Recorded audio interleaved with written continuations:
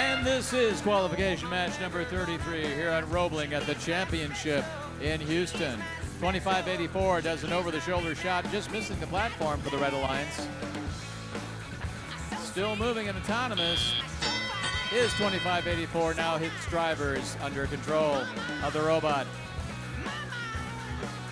Red Alliance quickly takes control of their switch, gaining points every second as a result. 2584 drops a cube for the Red Alliance, but the Blue Alliance answers 2080. Torbotics puts a cube up for the Blue, keeping the scale in the center nullified. Nobody's gaining any points out there. Red Alliance is gaining points from their switch. Both alliances drop two cubes almost simultaneously on that center scale. Here comes 25, 84. Reseda Regents Robotics. Their robot Inky trying to get some cubes up there for the blue, the Red Alliance. Blue Alliance currently has control of the center scale and is gaining points from that second by second. Inky throws a cube. It lands. Now the scale looks like it's in equilibrium.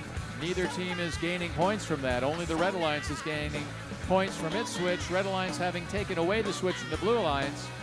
Now the Red Alliance has four cubes to three there on the center scale, and they begin to move ahead rapidly.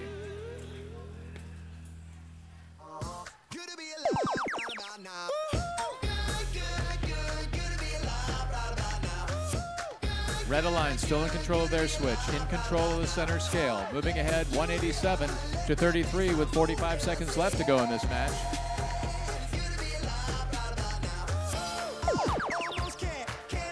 But here comes 2080 of the Blue Alliance, putting that scale back to neutral, nullifying the point totaling that was coming off of it for the Red Alliance. 30 seconds left to go in the match. 25-84, the Red Alliance. That robot Inky with the over-the-shoulder movement. Here they come. Oh, trying to get that cube up. It moved out of the way. The platform wasn't quite there for them.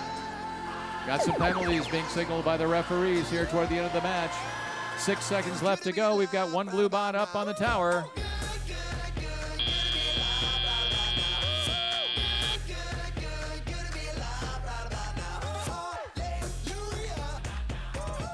And here's your score for qualification match number 33. It was the Red Alliance defeating the boss. Red Alliance had a score of 324 for the win with two ranking points. Qualification match number 34 is just a